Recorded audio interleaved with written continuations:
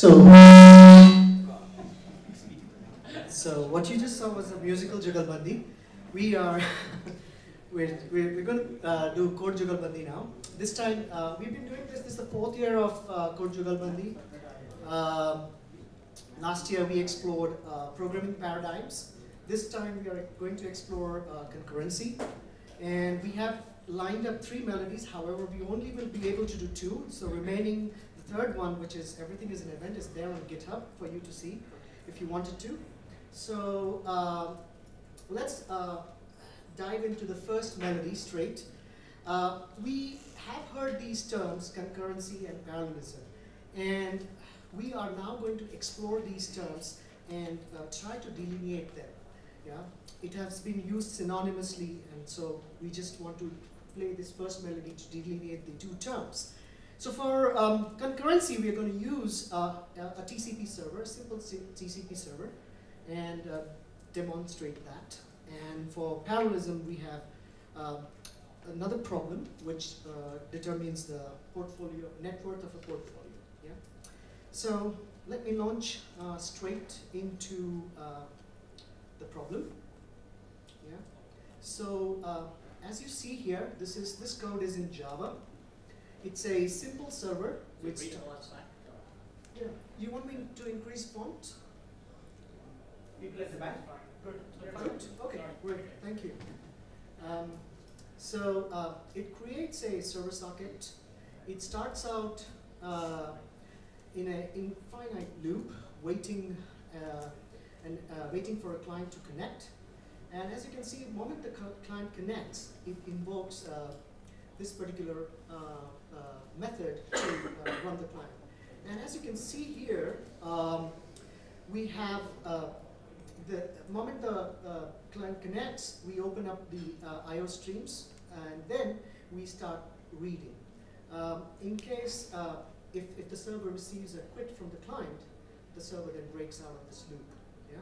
So that's pretty much the standard uh, socket that we have. Uh, so I'm going to uh, run this piece of code So we have our server waiting, yeah? Now, let me uh, fire up a telnet client and say hello, it responds back, yeah? Uh, so this is one client connected. Uh, let us look how we can connect multiple other clients. So um, I have over here with me a client class which uh, makes a connection. Yeah, again, it opens up the I/O streams and does a send receive uh, to the socket, and uh, whatever is being received later on is being print here, uh, pr printed here back so that the client sees. And finally, when it closes, it sends a quit signal to the server. Here's the main program. Uh, what I'm doing here is I'm creating about four clients, each on a separate thread. Yeah, as you can see here. And uh, after two seconds, so it sends a hello message and then sleeps for two seconds, yeah? So likewise, this happens for four times. So let's now run this client as well.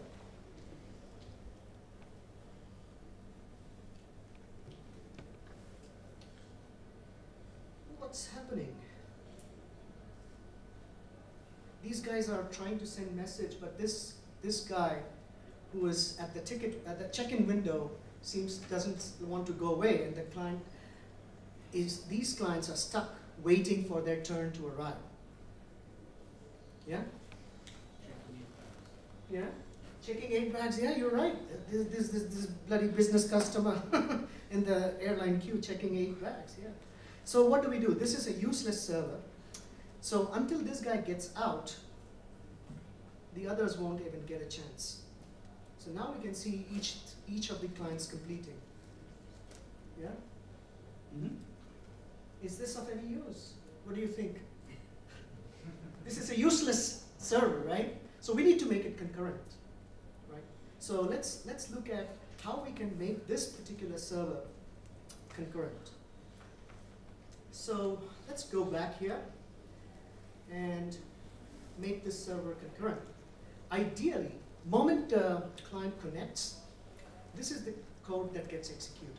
So we would, in traditional uh, Java world, we would spawn a thread, you know, a bare bone raw thread at this point, and then handle the client on that thread.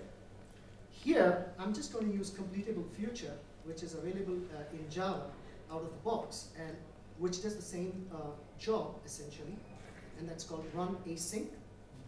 And in run async, uh, it requires a runnable, as you can see. What I'm going to do is I'm going to shove in this piece of code in run async.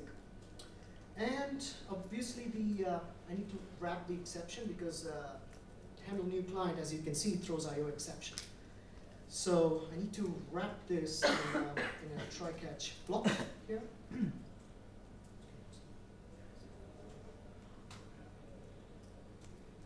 and I am going to say IO exception. And as in all Java stuff, we gulp the exceptions. So I'm just going to gulp it. Let's start the server again. So, uh, hang on, you're confident that that's thread safe? Ah, um, that's a big question. we have to worry moment we spawn threads left and right in normal object-oriented programming. We have to. What's the mutable state? Well, luckily uh, here I do not have any mutable state because I just am having a server socket. So this code will be thread safe. Yeah. Let's run the server. Now it's waiting again as usual. I will start my telnet, say hello, and as you can see here, early on, earlier in the earlier code, it was serving each of them on the main thread. Here, it's using a worker thread out of uh, a fork join pool. So now, if I run the clients again, all of them are able to, you know, get served. So we have essentially created few more check-in counters at the airport. So Brahmaji, can you show me the code again? Ah, so as I see this, um, you create one thread for every client, and every client runs on its own independent thread. Mm -hmm. Um, it's like multiple counters at the airport check-in counter, Yeah. and uh, everyone gets a chance, a fair chance at uh, at being served. Yes. Is that right? Is Yes, this is concurrency. ah. Do you agree? Yeah.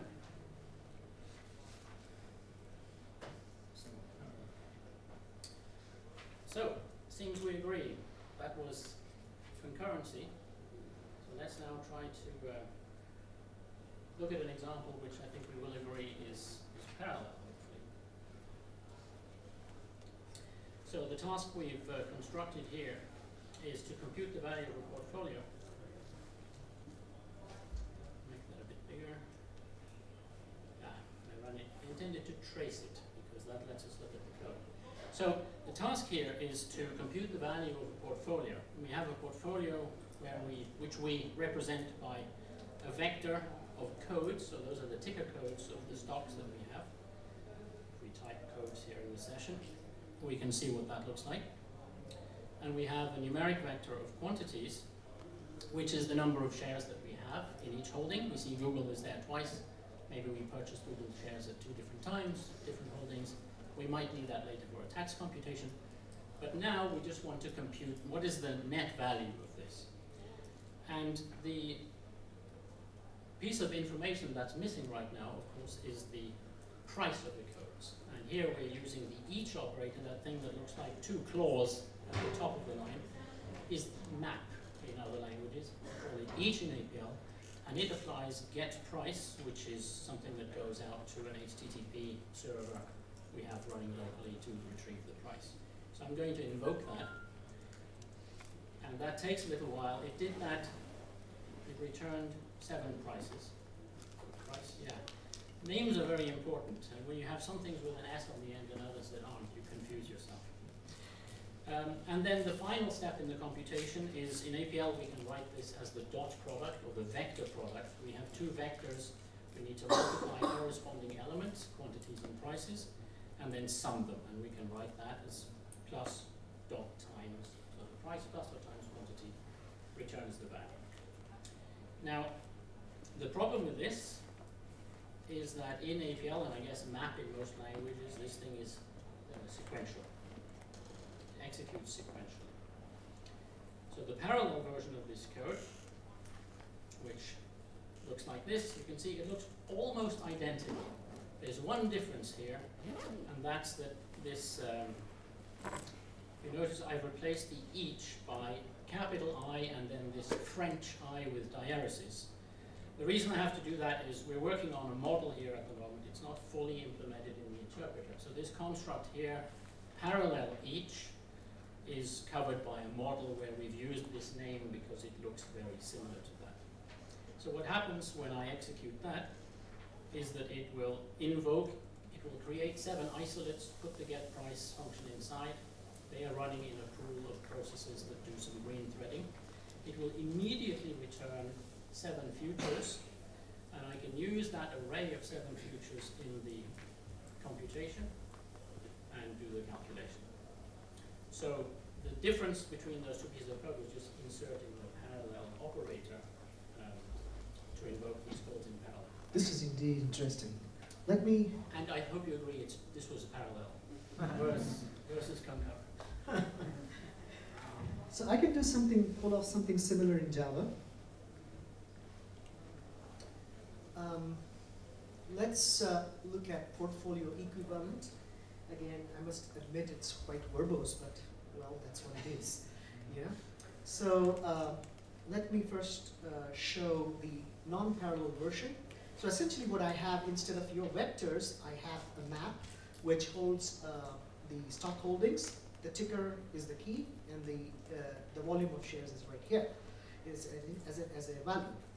So when I run uh, this code, yeah, uh, it is going to calculate uh, so many stocks. And as you can see, uh, it is running sequentially because for everything the main thread is being used. So it first does Microsoft, then gets Microsoft price, that goes for Google, Google fetches Google price back. So everything is done sequentially using just one single thread.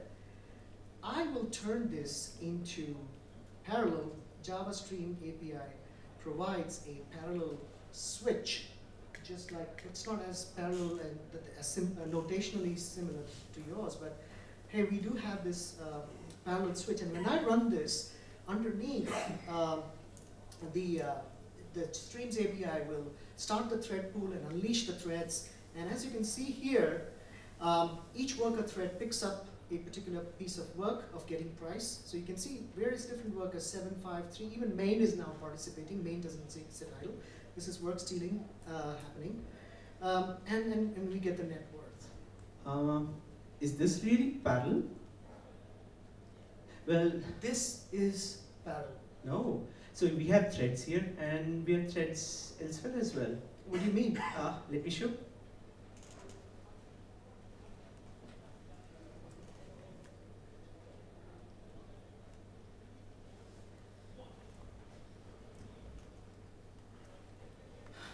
So I am going to modify this uh, small piece here, the start function, start method. And what if I say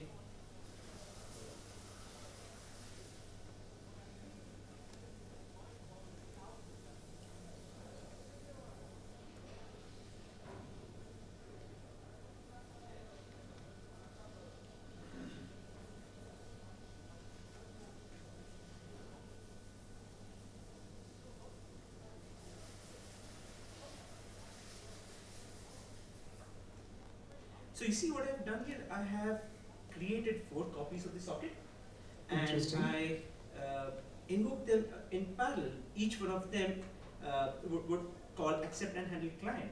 So is this parallel? Is this uh, concurrent? What is it? I'm confused.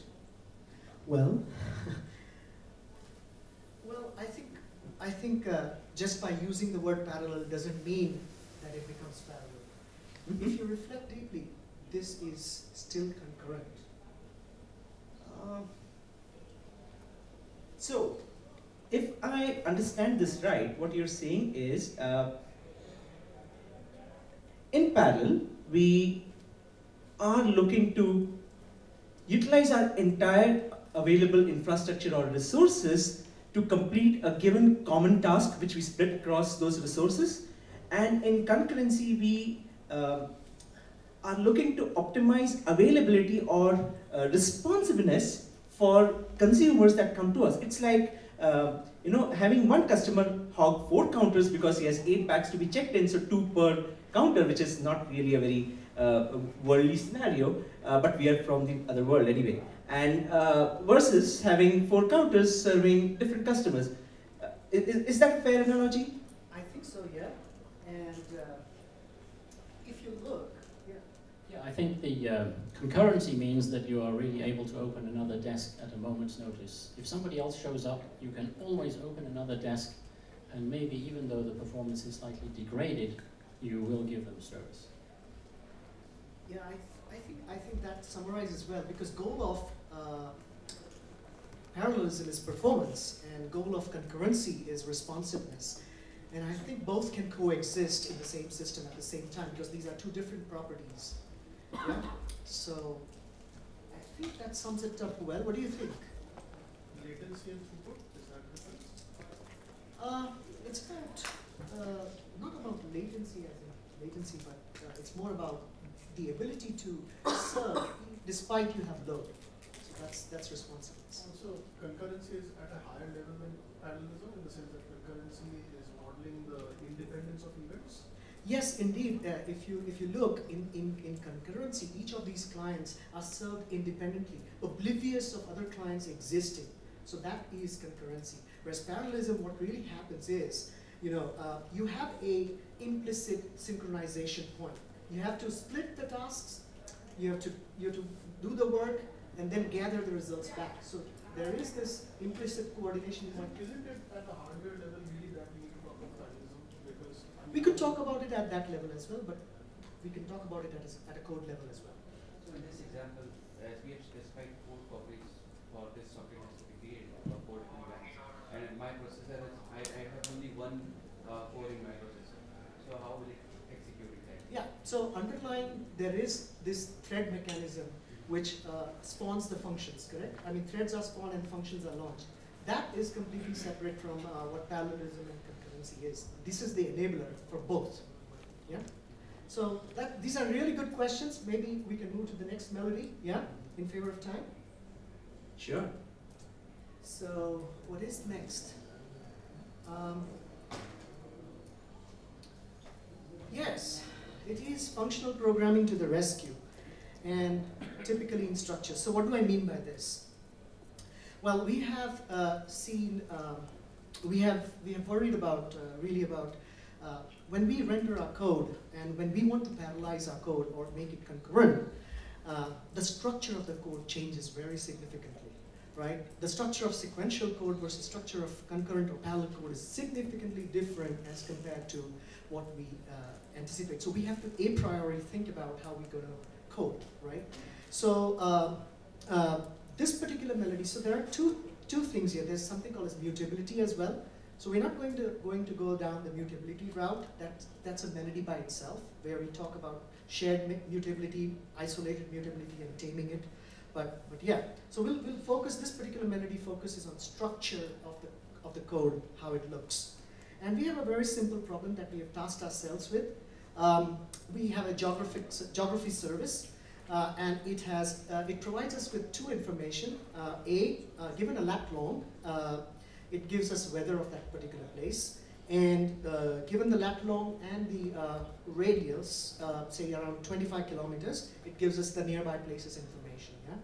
So that's, that's what we have as a problem statement. So um, let's look at how this particular code would be rendered sequentially. Just I'm using Scala at this point, it just happens to be that. Um, this is just setting up the chores, uh, setting up the URL and all the stuff that is required. This is going to make the request given a particular URL, return the result. And I'm going to invoke here this one after the other in sequential, as, as a sequence, and then collate the results, right? And then finally print it. So this is standard vanilla sequential code. So It's taking a long while. It's supposed to. It's Scala. oh, sorry. okay. All right, so let us make this con- uh, parallel, right? And so that the main caller thread is not, you know, going to uh, get affected. So I'll now switch over to C sharp, uh, just to just to you know see the flavor. How we were doing these things way back uh, a few years ago, right? So again, this is chores. I won't go into the chores. The interesting bit here is I'm using a countdown latch as a synchronization point. Uh, what I have is at line number 17, I'm making a request, and uh, so it enters here. Um, and when this request comes in here, I put this request on a- on a thread pool thread, right? And I, and I ask it to run. So uh, the thread pool scheduler would schedule it, run it, and when the task completes, right, it the latch signals back saying, all right, I am done, so let's decrement the count by one. And then this, this guy would repeat the same, and until then, the main thread is going to wait. When the count reaches zero, it is going to become free and then execute these two lines. So let's, let's see this in action, I hope, yeah. We got it faster, you agree? As, as opposed to before? Maybe it's not that noticeable. Half the time, yeah, possibly. All right. So uh, I hope people have forgotten my Scala joke, and they've even forgotten the Scala example because the C sharp thing is here, and that allows me to make my next point. this. So, uh, isn't this code too verbose? This is right. Ah, thank you for the yes. So. So uh, this is an example of the same solution in Clojure, and all of the uh, data setup ceremony is 23 lines, which is probably what you want to ignore, and we just move to 25 through 27. So what are we doing here? We have an inbuilt function, thankfully, called slurp. Uh, so slurp calls, uh, it takes an argument which is a string, and that's generated by the weather URL function. Can you move it up a little bit because the shadow Yeah. uh, Ah, thank you. is just the covering the Uh, interesting I'm sorry, I should. Oh, no, no, yeah, yeah, that's Here. it, yeah. See, I'm. So uh, back to this. Um, so we simply compose uh, things in this nice fashion where we first generate the URL, we pass it on to Slurp. Slurp fetches it, but now we surround this inside of a future, and that future is going to return future, of course, surprise, no surprise, of course, uh, weather and places. And line 33 now, which is which was 27 before, uh, is print info at weather at places. The at that you see is just the deref operator. Uh, so you see that the amount of ceremony here is, is pretty low, right? There's still some small constructs that we need to be aware of, for example, especially the deref. Uh, but on line 33, until those two futures have finished, uh, it's this, this program is going to block. And once it's done, it's going to consume. So you can see the amount of lack of ceremony, if I can put it that way. Here, uh, what does this look? Very beautiful, I think. But still too verbose. um, but it's very nice to come uh, after the Clojure because it's very similar, in fact. The APL is going to be very similar. So let's trace this. So the uh, same as the other solutions, there's five lines of code that are really uh, very uninteresting that create these, these two URLs that we're going to. So we're going to, we're making two web requests, right? And we want to do them simultaneously. And oops, this code is was modified. so what we're looking at here, uh, in the last run through, I modified this code to make it sequential, and the parallelism was taken out, and we didn't reset.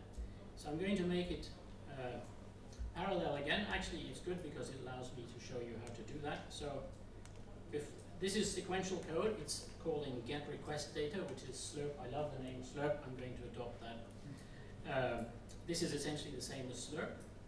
And if I just call that normally, it would just go out and get the text and put it in the places nearby data. To make it parallel, I don't use the, the i followed by an i with diaresis because it's not an array. I don't need to combine parallel with map. I'm just making one single asynchronous or parallel. I mean, we call the name of this symbol in APL is parallel, and that's one of the interesting discussions, right? There's some confusion right there because I'm just making one call, right? But I'm going to make another one down here, so I'm going to call get request data again uh, in parallel with my main thread. Um, so if you look carefully now, I'm going to hit enter three times and execute the next three lines. And what you'll see is that line 10 and 11 finish instantaneously because I immediately get a future back. I don't need to say future because in APL, if you use the parallel operator, by default, you immediately get a future back. Um, and then line 12, where I construct some JSON which assembles these two, uh, I'm concatenating some strings together here to make a single JSON result, is going to block. So here we go. One, two, three. See, it's blocking there for about three seconds, I think, and then it finishes. So the only difference to the Clojure really is that there's no, it's implicit. In APL you can have implicitly arrays of future and the, uh, the interpreter blocks on them when it needs, when it executes a primitive that needs the value. So you can connect these things together into arrays, that doesn't require the value. But if you use the actual value, you block it. So even a little bit less ceremony. I agree. That was nice. So, uh, but so far, whatever we've looked, uh, we've looked at kind of pulling the data, right? Let's turn this the other way around, where uh, when the when the worker thread is done, how about it says I'm done and it issues a callback, right? So we know from the JavaScript world they have dealt really well with the callback hills, right? They have promises to deal with the callback hill. So let's uh, let's look at the JavaScript code, uh, which is promisified. Yeah. So essentially, I'm making a request, and I wrap this request in a promise. Yeah. And in promise, only two things can happen. Either the promise can be can succeed, which in case I resolve and return the result, or if some something goes wrong, um, I reject. I break the promise. Yeah. Um, and that's about it. And then I have this particular function, which is weather in nearby places, I take consume two URLs, create two promises, yeah, and pass them as an array to a promise.all. So what promise.all does is it waits for all the promises to complete, right? And when it's done successfully, it calls the then. Otherwise, if anything fails, it, there's a catch handler there. You can do various things with this, but yeah, uh, you could recover from there a failure as well. But for now, this is the very simple one. And let's in, uh, run this now. Again, this is the ceremony part. And as you can see, this returns itself a promise. So I, I, I, I have to consume the result I do then. So I'm just going to run this code. So now we got weather uh, using JavaScript. Right?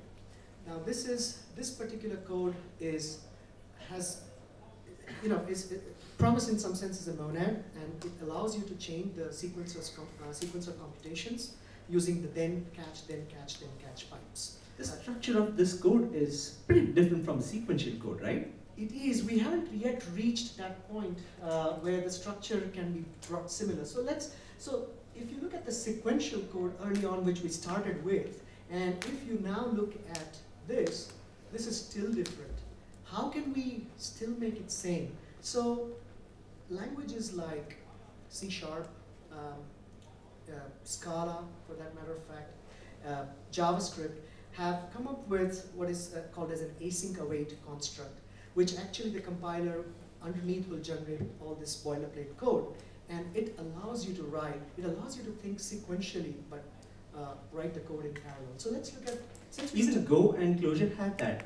Really, Go has first-class language support for it. Clojure gives it to you Core via yeah. the core async library. Yes. yes. Though they may not be direct, but you will have to use library. Go has it inbuilt. In yes. bit. Ah, okay. So let's look at the sequential code early on. This was the sequential code. I will, because it was done in Scala, we'll, we'll use Scala to to, to convert this sequential code into an async, uh, async await style code. So again, these are the chores and I have some work that I'm doing, very important work. Uh, we'll come back to that. But if you look at, this is the crux here. If you look at the get request data, I'm wrapping this in an async block. Um, if you look at the earlier one, the get request was not wrapped in an async block. Here, uh, it, is, it is wrapped in an async block. What it does is, it returns a future. It immediately starts when it is called. Uh, on a background thread, the thread pools, uh, thread pool threads are not really visible to you because it's under this abstraction. And so what I do is, I create two futures, one for getting weather information, the other for getting places nearby. Yeah, and also, uh, uh, after I get the, after I fire the futures, I want to wait, await, so you can see here a little await, which waits for the weather future. But because waiting is not good, so I wrap this back again in an async block. So now this code runs async. So, and, and, and like we talked about callbacks, this is the callback that gets registered. So when this future completes, I will get a callback while I can go ahead and do something important in the meanwhile. So let's see this, this in action, yeah?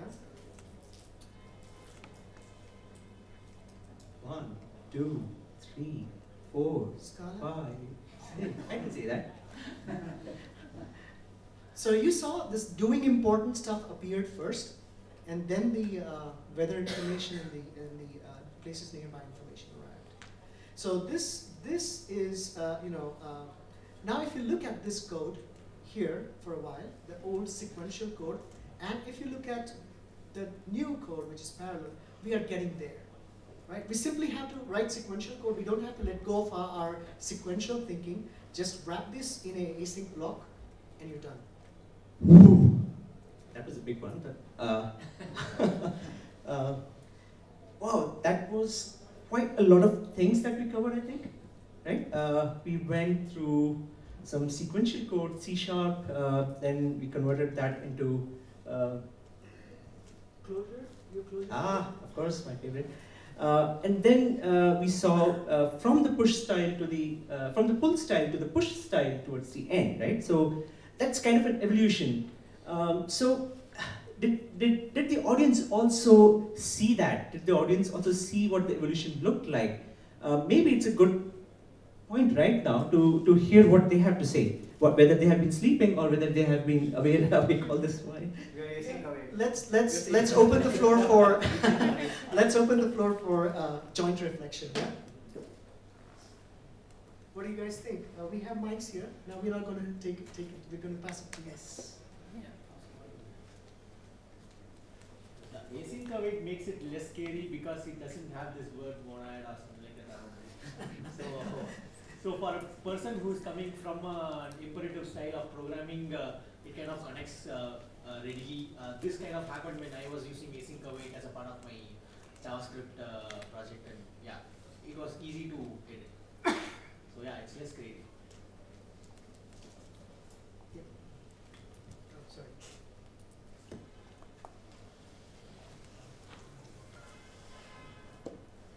Anybody? Uh, async awake. that was a good one. so uh,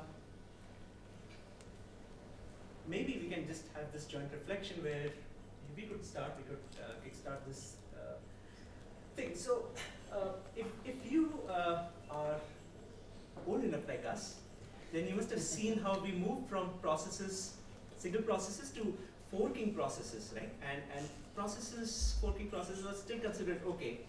And uh, that was after a while people thought, no, that's too heavy, right? Creating processes is heavy. So we have threads. And threads were like the next beautiful thing, of course, uh, until they were not that beautiful, so they became heavy. And uh, they're the same threads. So uh, what we thought was, mm, why can't we reuse threads? Because well, threads can, are in the process, they can cooperate, they, they, they really share, they have trust uh, inbuilt into this ecosystem. So let's create thread pools. So we had thread pools, uh, but we still couldn't, couldn't get rid of uh, mutexes, semaphores, latches, whatnot, right? Uh, so functional style now really starts to uh, come in and start to shine. And we have this, of course, we've had it for a long time, but in, in just your academic papers, the persistent data structures, and uh, we now have immutability and immutable data structures coming in. We have some nice constructs, we have some nice compiler uh, level advances which allow us to rewrite code and do, uh, you know, do our processing in terms of async, uh, but behind the scenes, maybe nice syntax, uh, uh, all of that, right? So you see that the evolution path has been pretty, uh, pretty nice, I would think, uh, if, if you really uh, go through the entire history. I would like to interject and say that if you look at this async await code, there is a problem here, if you can spot. And that has taken evolution even further, which, uh, which Eta has picked up on. Eta lang, yeah?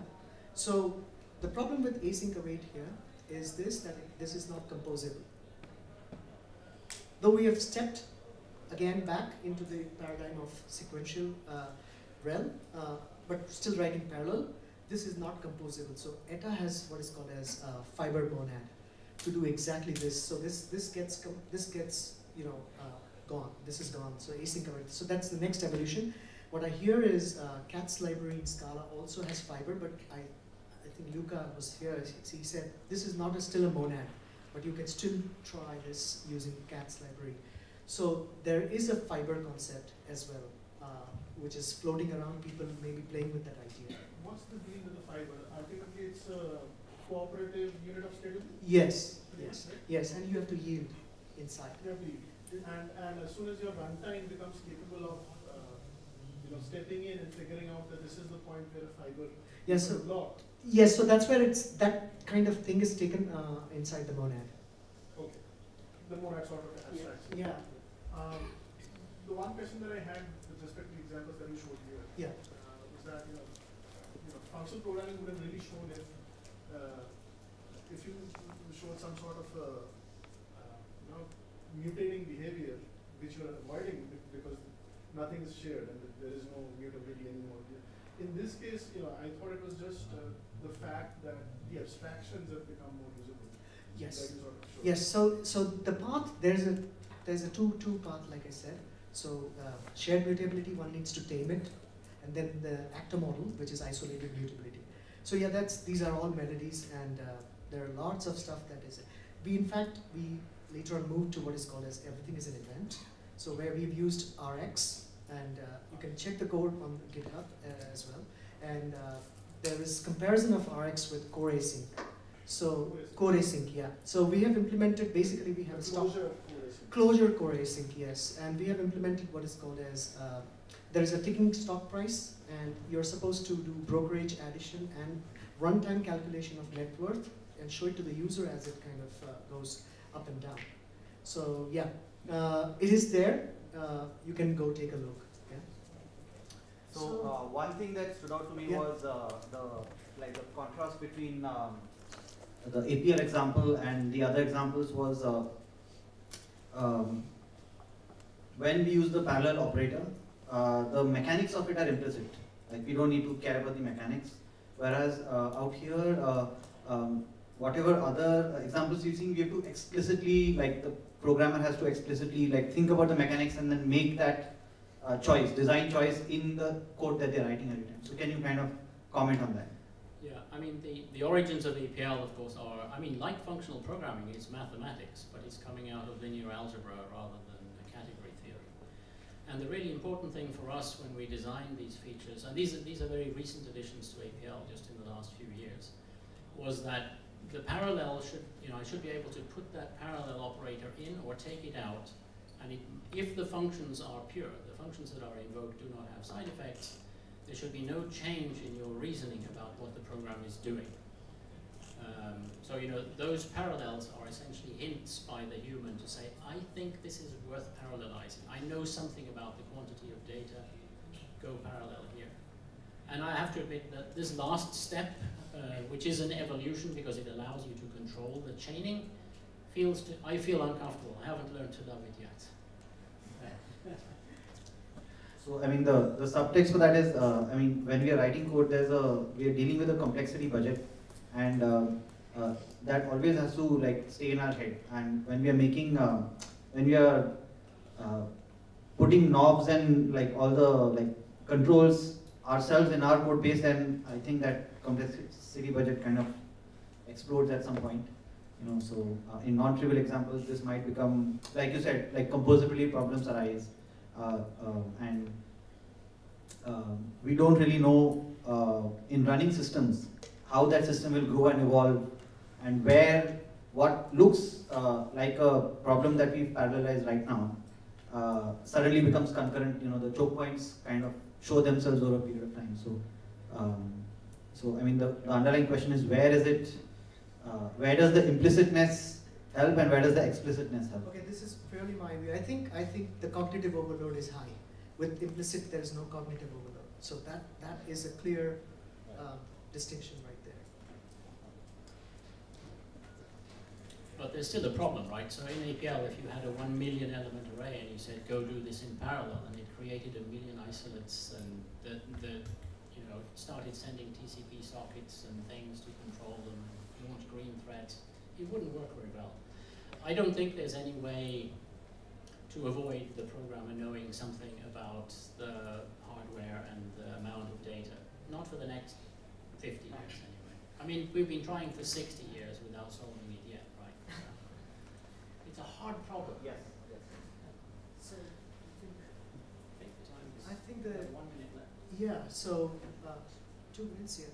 So um, if you have any other reflections to make, yeah, uh, we can. We have still two minutes. So I'm curious about the Scala thing which was slow. Uh, although things were happening in parallel, we had uh, seen you have made things parallel, but still they were slow. Was that was the compiler reason behind it or some Yes, runtime issue? We, we were compiling it, so Yeah. it was just a joke and take it as a joke. Uh, This this editor we are doing on the fly comp- compilation and then running it. So it does take that time. Thank you. It's just about to abandon Scala. oh, sorry. so anybody else? Or? Well, the APL was doing on-the-fly interpretation.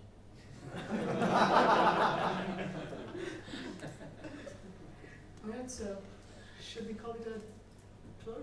Yeah. okay. Thank you, everybody. Hope you enjoyed.